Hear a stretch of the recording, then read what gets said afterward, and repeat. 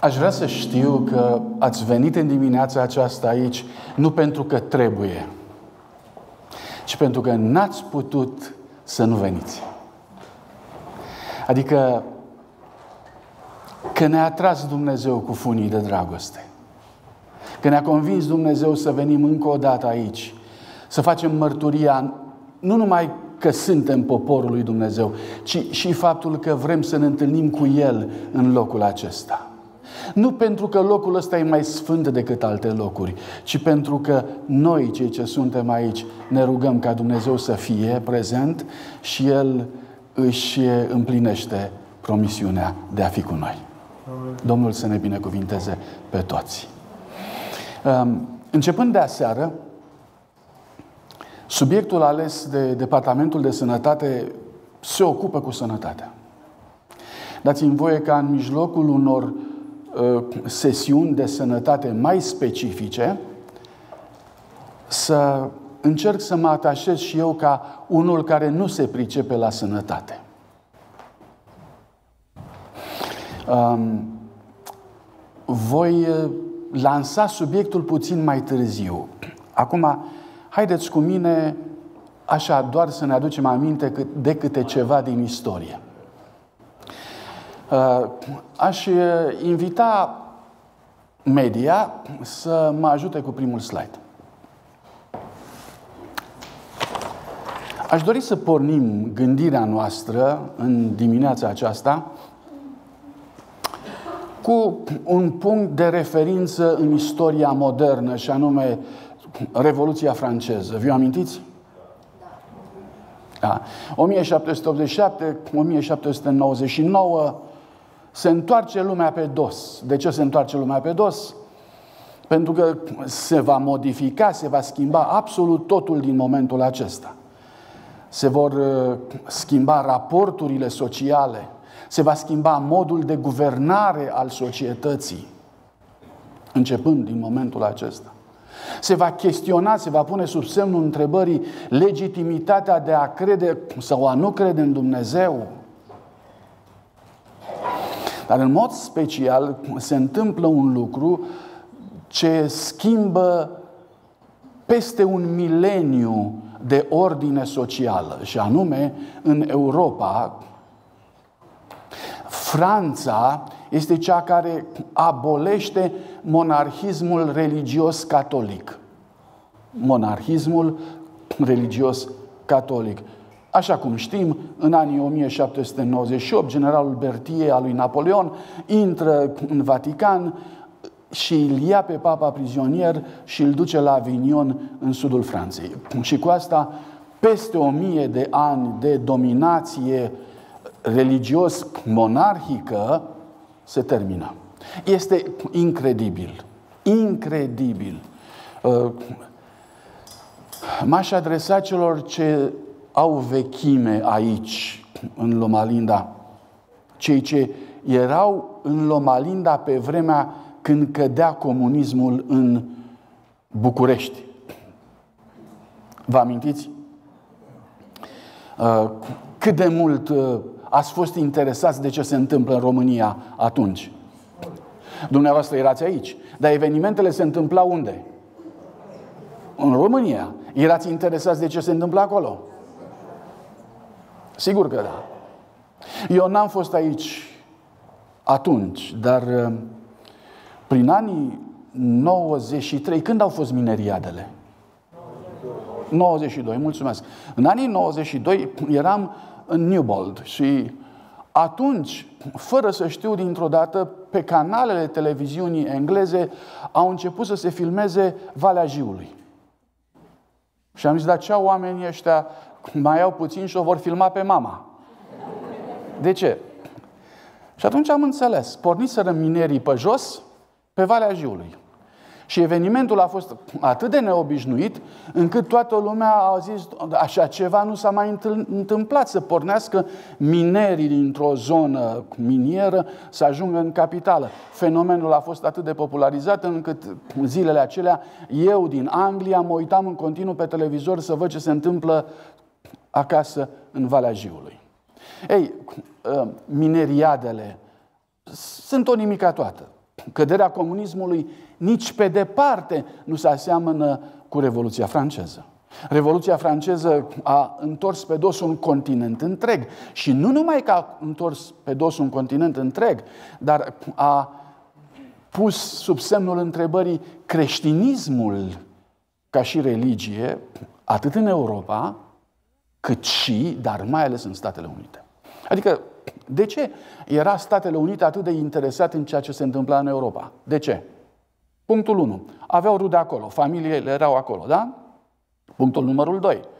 Fuseseră alungați din Europa, ei, ei veniseră persecutați fiind de către puterile politice și sociale europene, adică primăriile îi persecutaseră, guvernele îi persecutaseră, biserica îi persecutase. Fugiseră să scape viața, pur și simplu. Se uitau înapoi cu groază. Și în timp ce se uitau înapoi cu groază, au aflat că motivul lor de teamă a căzut. Și dintr-o dată lucrurile s-au schimbat. Uh, nu voi vorbi atât de mult despre ceea ce se întâmpla în Europa. Voi vorbi despre ceea ce se întâmpla în America. În America, atunci când au aflat că în Europa biserica sau, mă rog, uh, o rânduire catolică pentru că e vorba nu numai de religie, este vorba și de un sistem social implementat de Biserica Catolică. Deci o rânduire catolică a căzut, în momentul în care a căzut, în America, aici, în Statele Unite, în partea de est a coloniilor, care, cele 13 colonii care se formau atunci, uh,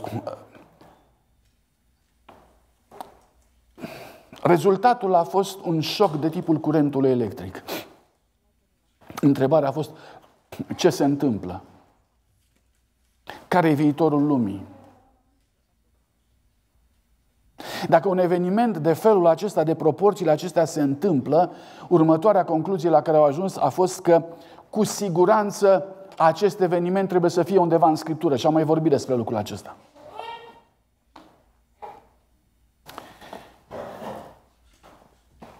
Cei ce erau în America la vremea respectivă erau oameni credincioși care plecaseră din Europa cu scriptura în valiză și o aveau în mână. Cu toate acestea, erau anumite părți ale Scripturii care nu erau înțelese și despre care nici măcar nu se gândeau să le înțeleagă. De pildă, cărțile profetice. Daniel și Apocalipsul nu fusese studiate până la vremea respectivă. Lucrul ăsta se întâmpla și în Anglia, și în Europa, dar și în America. În momentul în care Revoluția franceză a avut loc, repet, marea problemă a fost unde scrie în Biblie despre asta. Pentru că evenimentul este prea puternic ca să nu scrie în Scriptură. Trebuie să fie undeva.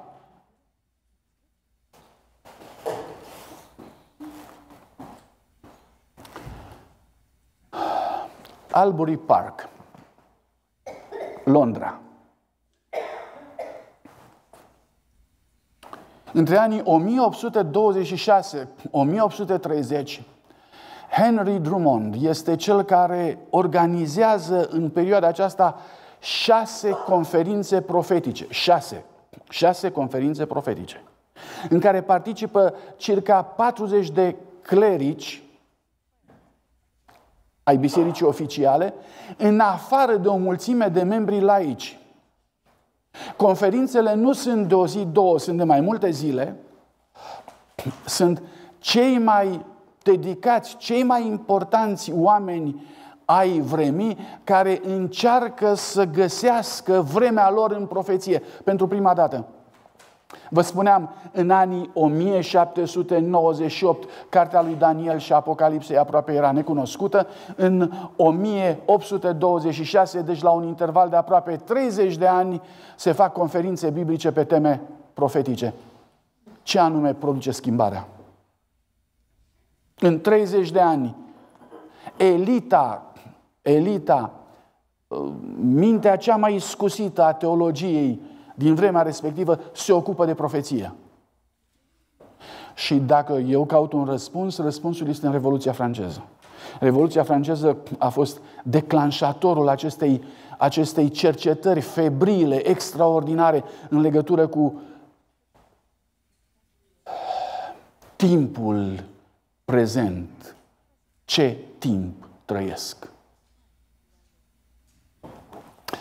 Um,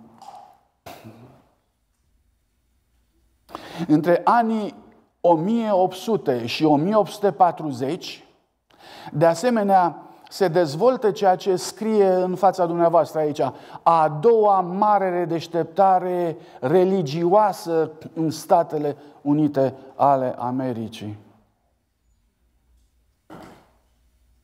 Nu zeci de mii de oameni, sute de mii de oameni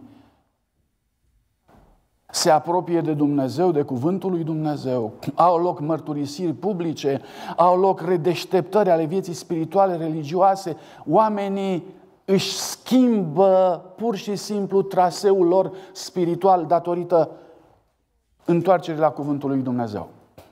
Din ce cauză? Repet,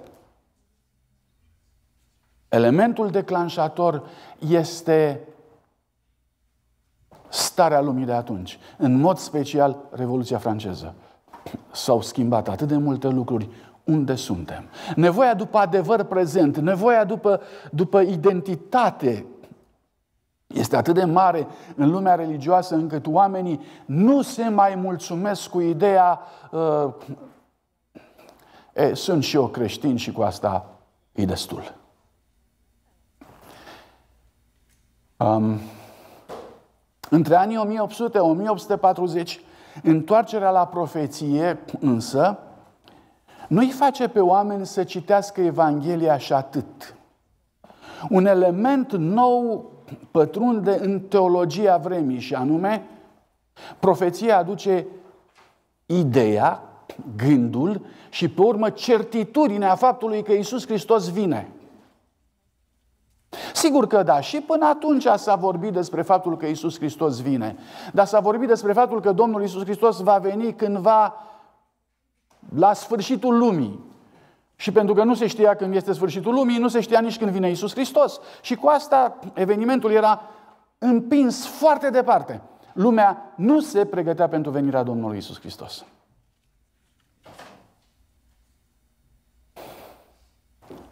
Aceasta a doua redeșteptare, datorită faptului că deschide profeția, îi obligă pe cercetătorii de atunci nu doar să ia în considerație, dar să ajungă la concluzia că Domnul Isus Hristos este gata să vină și că venirea Lui este imediată.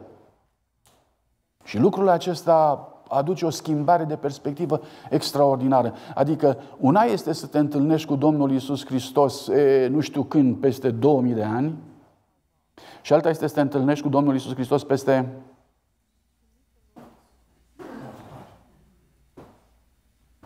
Vă aduceți aminte de imnul acesta?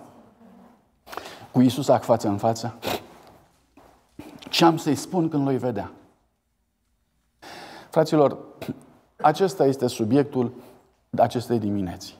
Care sunt rezultatele practice ale gândului că te întâlnești cu Isus Hristos?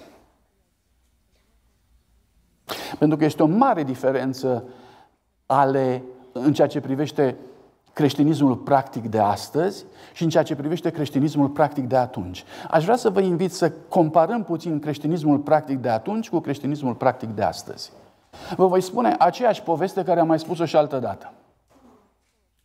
În perioada asta, anilor 1800-1840, care perioada era marcată de cunoașterea profeției, de ideea venirii și convingerea venirii Domnului Isus Hristos, un uh, țăran s-a dus la plug. Și în timp ce ara cu plugul, la orizont a apărut un nor alb și el știa din Sfânta Scriptură că Domnul Isus Hristos vine pe nori și a zis, e, dacă vine Domnul Isus Hristos acum, acum, Asta este, acesta era gândul nou, aceasta era atitudinea nouă a vremii de atunci, că Domnul Isus Hristos poate să vină acum. Repet, Și înainte se vorbește despre Domnul Isus Hristos că va veni, dar va veni altă dată. Omul era cu plugul în brazdă și își pune problema, dacă vine Domnul Isus acum. Și oprește plugul. Și se ia. Ăsta este efectul numărul 2 al faptului că Domnul Isus Hristos vine acum. El se uită la el și zice, aoleu, pantofii. Cum sunt cu pantofii? Făcuți sau nefăcuți? Mă opresc puțin. Noi nu avem gândirea aceasta. Haideți să vedem cum gândim noi. Cu Isus ac față în față. Ce am să-i spun când l vedea? O să strig cu voce tare? Mare iubirea ta. Observați? Ehm, gândirea mea este în legătură cu faptul că iubirea Domnului Isus Hristos este mare, dar nu în legătură cu mine, cum sunt eu. Nu.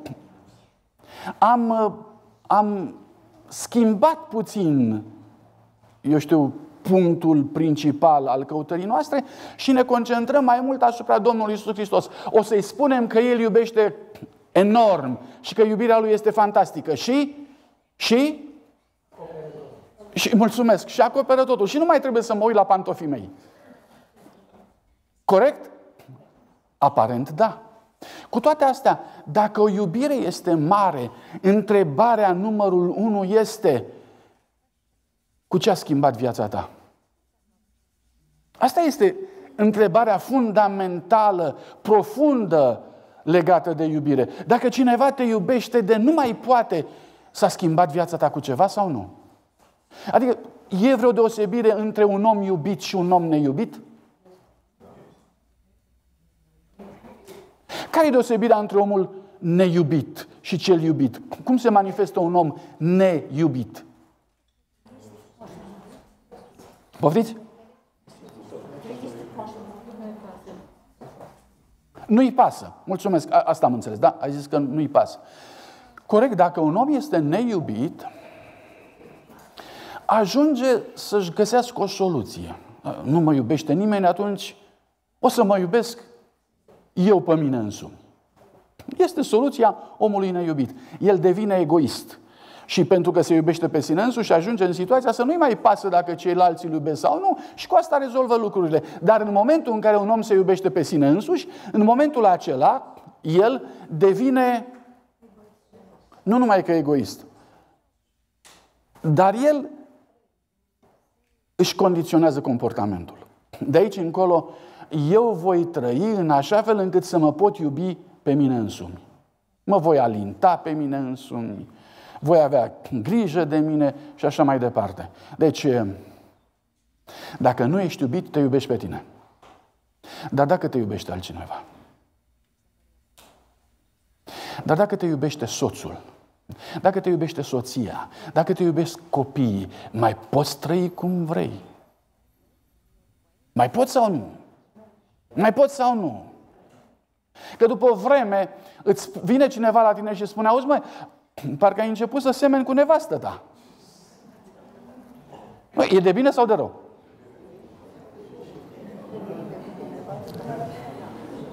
Da? Că așa se întâmplă. Dacă te iubește și dacă apreciezi iubirea, începi să te schimbi. Începi să te transformi. Vrând nevrând. De asta întrebarea care se pune imediat este dacă te-a iubit Dumnezeu atât de mult și dacă ai văzut că te-a iubit și dacă tu îl iubești la rândul tău, s-a schimbat ceva în viața ta sau nu? Marea problemă nu este dacă te iubește Dumnezeu, că Dumnezeu te iubește cu o iubire veșnică. Marea problemă este cât te-a schimbat iubirea aceasta. Cu Isus, ac față în față. Și țăranul meu era acolo, cu plugul în brazdă și se uita la pantofi. Doamne, dar alții mai buni n-am. Ăstea sunt. Ce să fac? Cu ăștia e în regulă. Bun. Pantalonii. Aoleu, e cu praf pe el. S-a scuturat puțin, am mai dat praful la o parte. Haina la fel. Pălăria alta n-avea. Și tot așa s-a uitat la sine până când a descoperit ceva. Vă aduceți aminte ce a descoperit? Haideți că e a treia oară când vă spun povestea asta. A descoperit luleaua. Luleaua. Omul fuma. cu, a găsit justificări la toate. Dar când a descoperit luleaua, a zis, da, da cu asta, ce îi spun? Dacă vine, ce îi spun? Din asta de ce trag? Și istoria, că e vorba de o întâmplare, nu explică ce a fost în mintea țăranului meu, dar îmi spune că a aruncat luleaua și a acoperit-o cu prima brazdă de pământ. Cu Isus ac față în față contează, dragii mei. Contează. Și vreau să vă spun în momentul ăsta că ceea ce este specific oamenilor de atunci a fost schimbarea. Și acest specific noi l-am pierdut, adică noi astăzi zicem ne întâlnim cu Domnul Isus Hristos fără probleme. Păi te schimb? Păi nu trebuie să mă schimb. Păi de ce nu trebuie să mă schimb? De ce nu trebuie să mă schimb? Și găsesc mare e iubirea Domnului. Adică mă primește așa cum sunt. Păi nu scrie textul așa? Ba da. E o mare diferență acum. Dacă Domnul îl ia pe om așa cum este de pe șanț, că așa îl ia Domnul, de pe șanț, așa cum e, nicio problemă. Dar după ce l-a luat de pe șanț și l-a duce în camera de nuntă, mă auziți? Îl aduce în camera de nuntă și îl pune la, să stea la masă cu el. N-are Dumnezeu dreptul să-l întrebe, auzi, dar tu tot așa ești? N-are Dumnezeu dreptul să-l întrebe, tu tot așa ești? Adică pilda spune că a venit Mântuitorul și l-a întrebat, auzi, dar unde ți-e haina de nuntă? Că eu ți-am dat haina de nuntă. Că eu am făcut totul ca tu să te schimbi. Atât de mult te-am iubit încât am vrut să te schimbi. Ți-am dat și haină de nuntă. Și tu acum îmi reciți mereu textul ăla cu care eu te-am luat de pe șanț? Tot pe ăla mi-l spui? Păi nu e o greșeală să-mi spui textul cu care Dumnezeu te-a luat de la închisoare și să-l repeți și atunci când ești în, în sala de nuntă? Nu e o greșeală? Adică nu se schimbă nimic? Adică nu se mai transformă nimic în viața mea? Nu se mai transformă nimic în viața ta?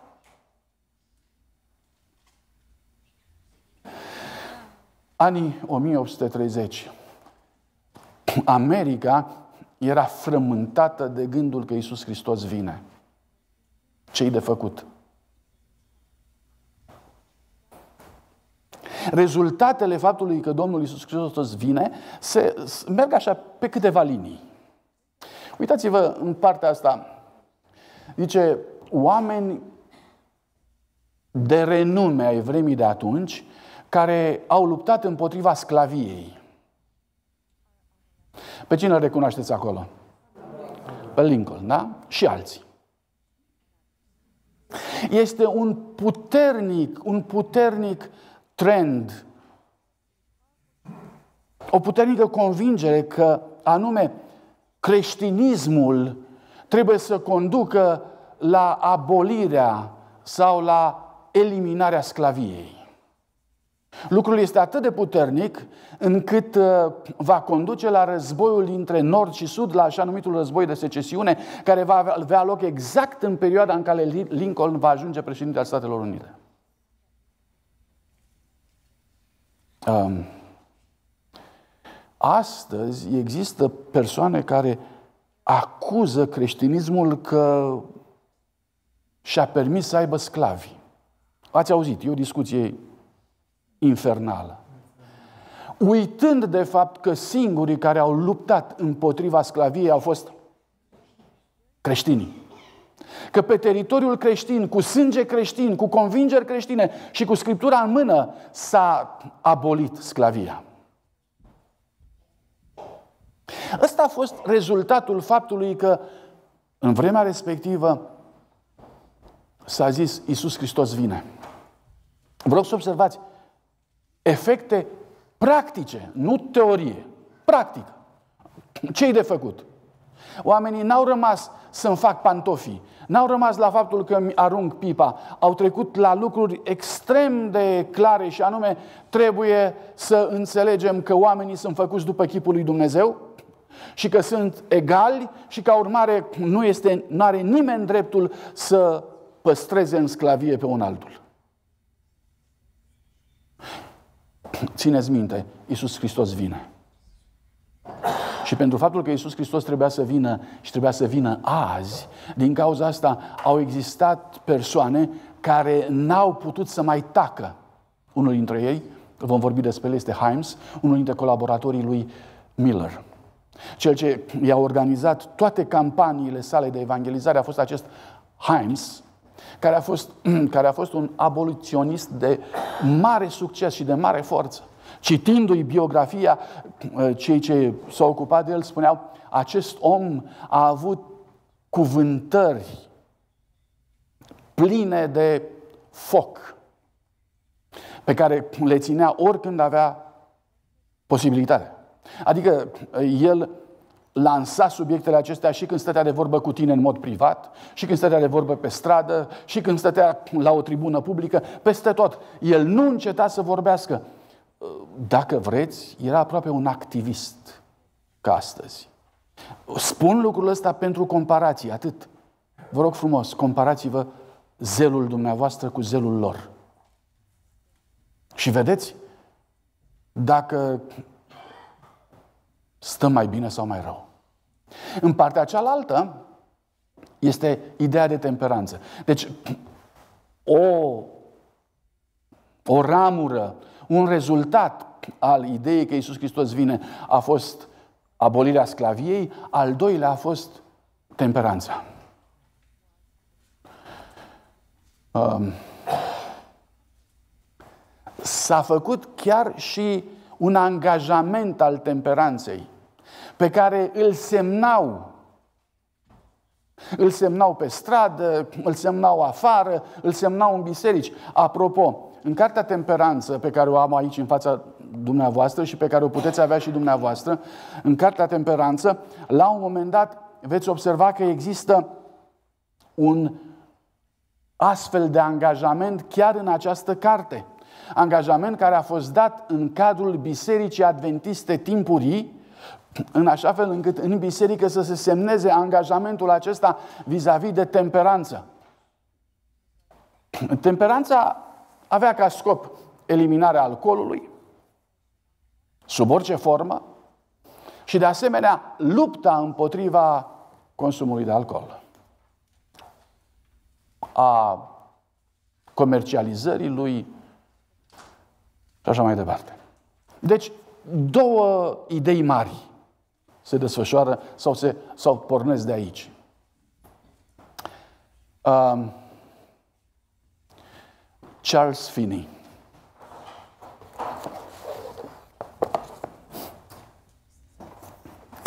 Marea parte a predicilor lui a fost tradusă în limba română și mă bucur foarte mult de acest lucru, sub titlul Discursuri despre trezirile religioase. Acest om este unul dintre cei mai importanți predicatori în cadrul celei de-a doua treziri religioase din America. Charles Finney. Da?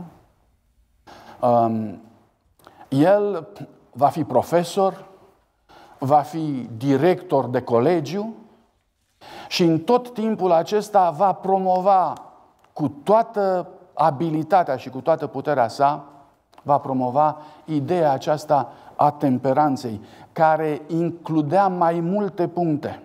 Iată câteva lucruri, aș vrea să vi le citesc dacă voi putea. Iată cum prezintă el. Uh, suntem, sunt în predica, sunt la predica lui, care vorbește despre o să vă citesc exact titlul predicii, obstacole în calea trezirii bisericii. Și când vorbește despre aceste obstacole care fac ca o biserică să rămână adormită și să nu se trezească, el ajunge la punctul 18 și zice așa, unul dintre lucrurile care țin o biserică adormită este împotrivirea față de reforma temperanței. A venit timpul când biserica nu are nicio scuză dacă nu ia o atitudine clară față de această mișcare reformatoare, spunea el. A fost o perioadă de ignoranță când unii păstori și membrii ai unor biserici puteau avea treziri chiar dacă se găseau în mijlocul lor și unele persoane care consumau băuturi alcoolice. Dar de când s-a făcut lumina asupra acestei chestiuni, s-a demonstrat că niciun pastor nu poate fi scuzat dacă încearcă să ia o poziție de neutralitate în această privință. Fiecare parte trebuie să ia o hotărâre clară, să treacă de o parte sau de cealaltă. Cei ce nu sprijină reforma, o combat. Arătați-mi un singur pastor care s-a opus temperanței și totuși a avut o trezire în biserica lui. Arătați-mi unul care acum stă departe de această chestiune și are o trezire. Arătați-mi unul singur care șovăie să se declare în favoarea abstinenței, a cumpătării și care are o trezire. Și el spune, nu există așa ceva. Um, cuvintele acestea ar trebui să aibă relevanță pentru noi azi. Vă rog, din suflet, gândiți-vă la lucrul ăsta. Continui din aceeași predică.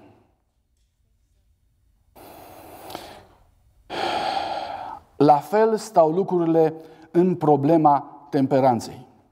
Este, este suficient să pledați în favoarea unui consum moderat de băuturi alcoolice, să beți numai ocazional un pahar și bețivii vă vor socoti unii din ai lor.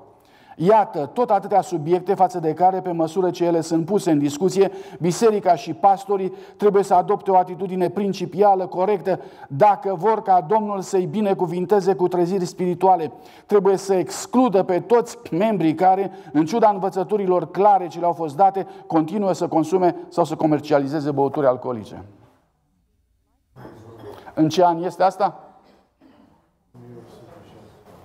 Nu, e 1835.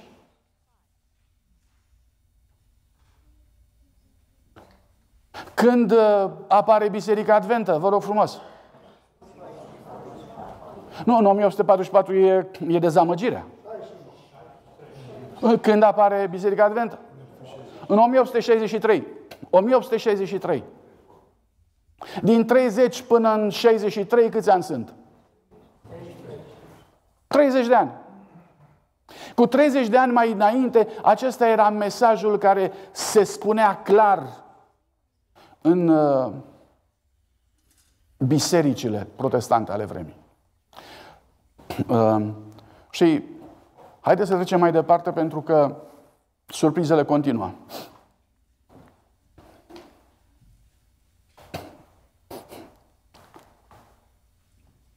Mulțumesc. Colegiul Oberlin.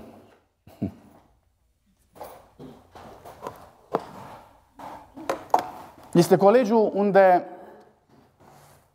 Charles Finney va fi profesor și unde va fi și director, președinte.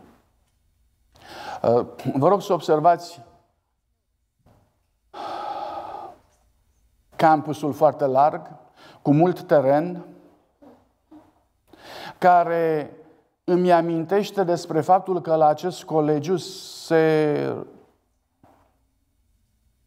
promova munca manuală a studenților. Mișcarea în aer liber.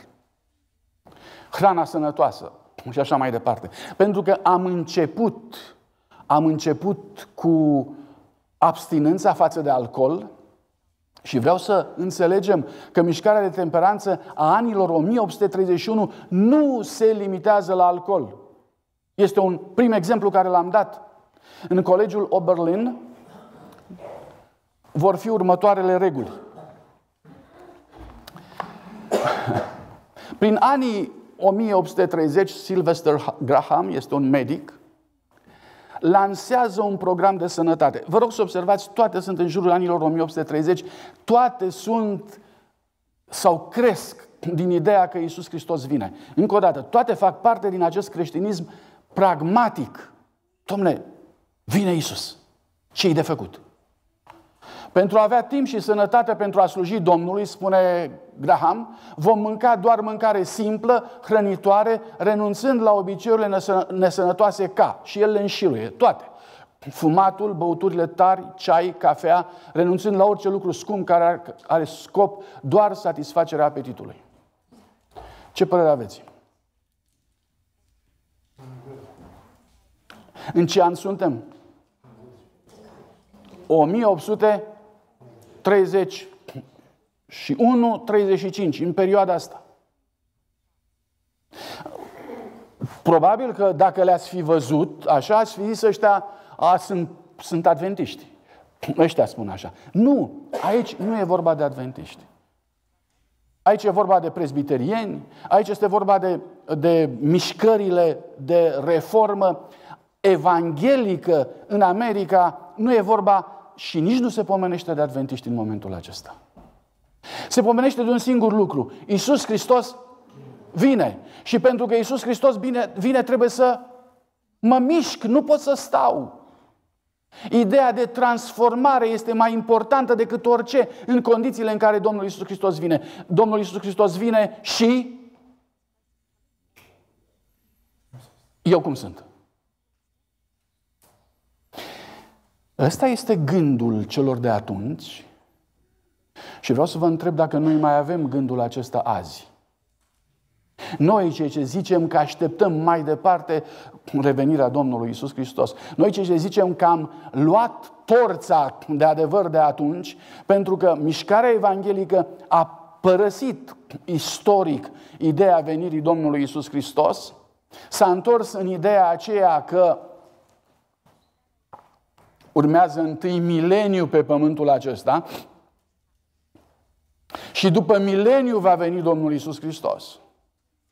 Deci au împins venirea Domnului Isus Hristos cu o mie de ani.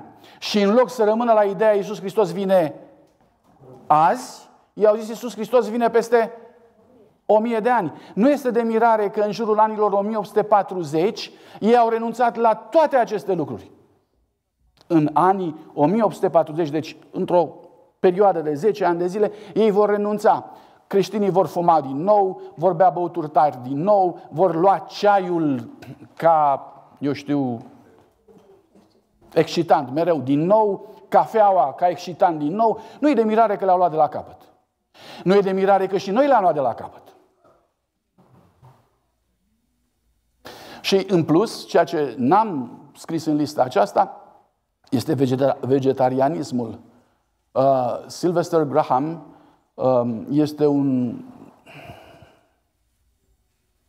exponent și nu numai exponent, dar uh, aplică în viața lui puternic de tot ideea renunțării la carne. Și cere ca lucrul acesta să aibă loc în viața celor care așteaptă pe Isus Hristos. Evident, dezbateri stânga și în dreapta și pentru că vorbim de uh, Graham, el este inventatorul făinii Graham, a biscuiților Graham, în ziua de astăzi a pâinii Graham, despre el vorbim. Da? Despre el vorbim. Uh, cumva, cumva, moștenirea lui a rămas până în ziua de azi. Ne bucurăm de ea. Noi, în schimb, între timp, am schimbat paradigma. Iisus Hristos nu mai vine azi, va veni când? Și mâine, dacă spun că va veni, tot e târziu. Pentru că asta produce schimbări de comportament, de atitudine în viața mea. Colegiul Oberlin, aș vrea doar să vă mai citesc doar câteva gânduri de aici. Um,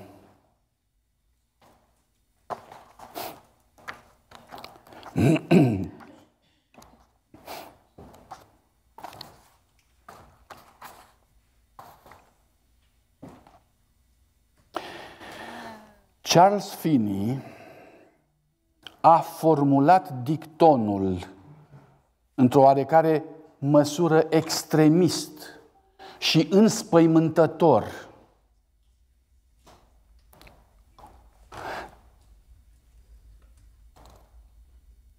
Că nimeni care nu ar fi gata să pornească spre munții stâncoși, doar cu un spic de grâu în buzunar, nu este pregătit să devină misionar. Înțelegeți și asta? Este un exercițiu de supraviețuire. Adică, dacă ești misionar pentru Isus Hristos, trebuie să te descurci. Dacă ești misionar pentru Isus Hristos, nu trebuie să spună cineva la dispoziție o mașină și nici salariu și nici nu știu ce. El spune, dacă ești misionar pentru Isus Hristos și ai un spic de grâu în buzunar, poți să pleci. Ăsta este profilul misionarului pe care îl formează Colegiul Oberlin și pentru asta ei învață să mănânce simplu, în așa fel încât să poată să se pună la dispoziția lui Isus Hristos. Toate lucrurile care le vedeți aici sunt luxul social din vremea respectivă. se fuma ca lux, se bea băuturi tari ca lux, se bea ceai ca lux, cafeaua ca lux și așa mai departe. Ori ei spun, noi renunțăm la toate acestea pentru ca să putem să facem ce Iisus Hristos ne vrea. Um, istoria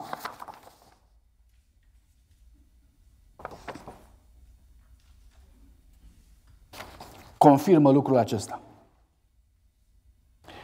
Istoricii spun următoarele despre efectul unei asemenea pregătiri.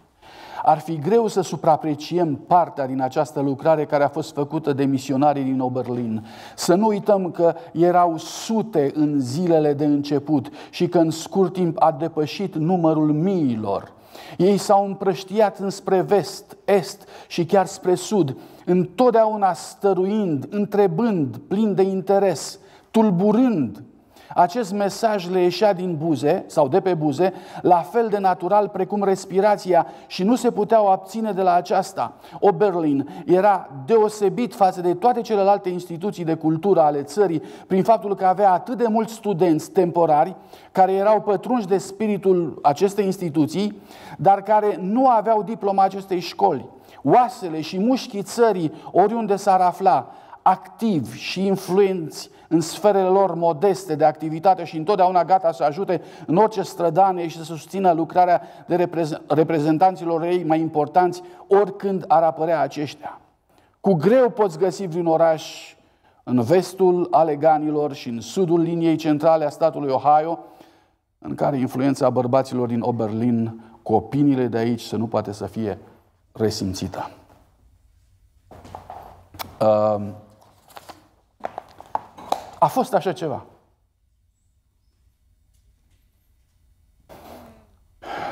Anii 1840 au stins acest vulcan care ardea pentru Isus Hristos. Anii 1840 îl așează în prim plan pe Miller, William Miller. William Miller vorbește din nou despre faptul că Isus Hristos vine când? Vine, acum, trebuie să vină. Lucrul acesta tulbură. Foarte interesant. În scurtă vreme, unul dintre primii asociații a lui William Miller este Joshua Himes. Iată ce se spune despre el, sau ce spune el. În semnele timpului din 1 noiembrie 1840, Himes scrie – Politicienii zilelor noastre cheltuiesc milioane pentru a forma un om ca președinte ale Statelor Unite ale Americii. Să nu investim noi comorile noastre pentru a oferi bisericii adormite și lumii vestea apropierii și a domniei regelui nostru etern. Și omul ăsta se asociază lui William Miller. Spuneam înainte, este cel ce îi organizează și îi planifică campaniile sale de evangelizare. Este creierul care cunoaște lucrul acesta. Dar Himes este un activist în educație, în temperanță, în drepturile femeii, în mișcări de pace, în reforma sănătății, fondatorul societății de non-combatanță Noua Anglia, Angliei. Iată care sunt oamenii care participă la începutul acestei lansări de solie. William Miller este unul dintre oamenii aceștia. Himes este la fel. Mișcarea adventă, pentru că este o mișcare ce spune că Isus Hristos vine, preia toată această motivație.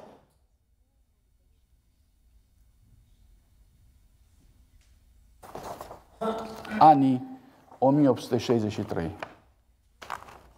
Creștinismul pierduse în interesul din to- în legătură cu toate aceste subiecte. Subiectele rămăseseră moarte pe masa creștină. În 1863, Ellen White se luptă cu gândul dacă aceste lucruri sunt bune sau nu. Ea le cunoaște. Soțul ei venise din mișcări aboliționiste. El însuși lucrase în domeniile respective, James White. Era cazul ca dacă Iisus Hristos vine, poporul advent să se pregătească și el în același fel? Și în 1863, Ellen White primește viziunea reformei sănătății, în care este învățată să preia ștafeta. Și a spune, adică Domnul îi spune, preia ștafeta, voi trebuie să vă pregătiți pentru venirea lui Iisus Hristos. Ceea ce au lăsat ei, neterminat, pe masa lor de lucru, trebuie să continuați voi mai departe.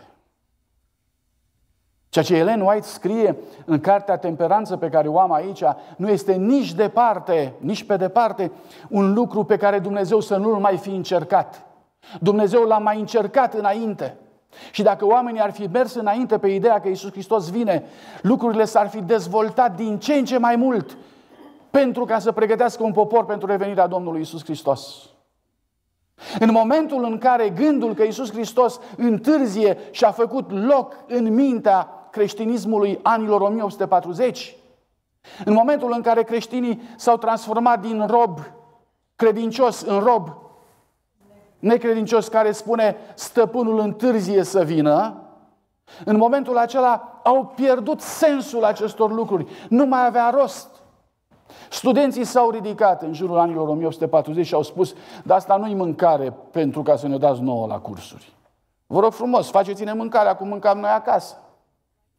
Și după 5 ani de zile, colegiul a trebuit să reintre în uh, cantina comună a vremii de atunci, părăsind această exigență care provenea din faptul că Isus Hristos e gata să vină.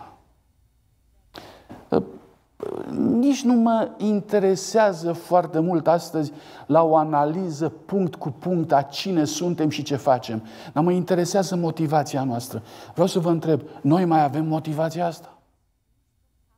Spuneți-mi, vă rog, de ce mâncăm noi? De ce mâncăm? Care este motivația pentru care așezăm masa în fiecare zi?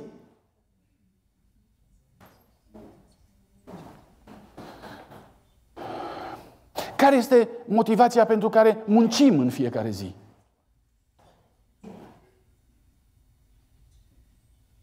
Care este motivația pentru care cheltuim în fiecare zi. Asta este problema. Pentru ce?